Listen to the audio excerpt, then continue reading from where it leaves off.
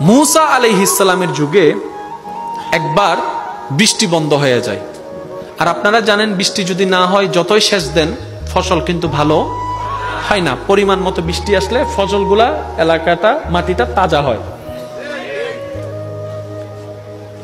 বৃষ্টি বন্ধ হয়ে যায়। মুসা নবী আল্লাহর সাথে সরাসরি কথা বলার সুযোগ পেয়েছিলেন, সেটা আপনারা সকলেই জানেন।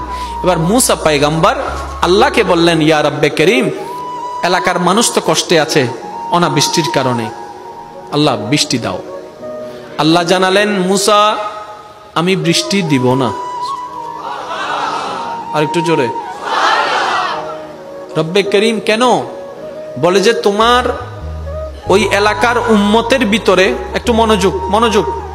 তোমার ওই এলাকার উম্মতের ভিতরে এমন একজন বান্দা আছে যে আজকে চল্লিশটা বছর আমার জমিনে থাকে, আমার নিয়ামত খায়, কিন্তু চল্লিশটা বছরের ভিতরে একবারও আমার দরবারে হাজিরা দেয় নাই, আমাকে ডাকে নাই, আমাকে স্মরণ করে নাই। ওই একজনের কারণে আমি বৃষ্টি দিব না।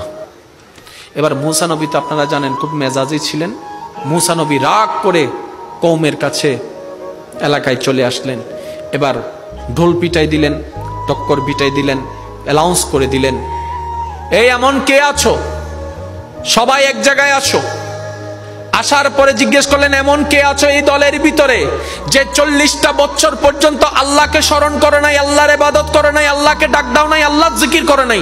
ওই পাপিষ্টকে বের হোক তুমি একজনের কারণে সবাই কষ্ট পাচ্ছে। সবাই তো লাইন ধরে দাঁড়ায় আছে।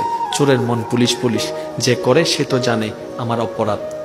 এবার এতগুলা বান্দার ভিতরে, এতগুলা উম্মতের ভিতরে, যখন মৌসা নবী দেত্রহীন কণ্ঠে ডাকতে লাগলেন, এবার তার মনের মধ্যে একটা ভয় সৃষ্টি হয়ে গেল। আমার কারণে যে বৃষ্টি বন্ধ হয়েছে, এটা যদি সবাই জানে, আমার পিঠ তো আর পিঠ থাকবে না, আমার পরিবারের জীবন তো আর জীবন থাকবে না, সবাই তো আমাদেরকে বের করে দিবে। ভিতরে ভিতরে একটা লজ্জাবোধ কাজ করতে লাগল, আর সে জমিনে দাঁড়িয়ে রহমানের রসমানের দিকে তাকিয়ে বারবার বলতে লাগল, আল্লাহ, মাফ করে দাও না, আল্লাহ মাফ করে দাও না, আমার কারণে সবাই কষ্ট পাচ্ছে, আল্লাহ আমাকে মাফ করে দাও না।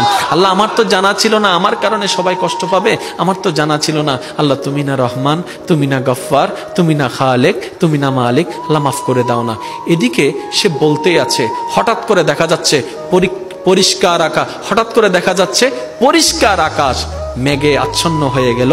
মুহূর্তের ভিতরে অজর দ্বারায় বৃষ্টি নামতে শুরু করল। একটু আগে মুসানবী বললেন কি, বৃষ্টি হবে না। এবার বৃষ্টি যখন পড়তে লাগল মুসানবী অবাক হয়ে আবার তুর পাহাড়ে গেলেন ইয়ারব ব্যাপারটা তো বুঝলাম না, তুমি না বলেছিলা?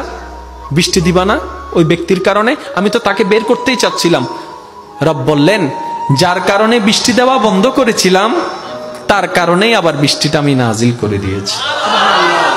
ইয়ারব মামালা তো কিছু বুঝলাম না ওই বান্দাটাকে তার চেহারাটা একটু দেখতে চাই। একটু খেয়াল করবেন।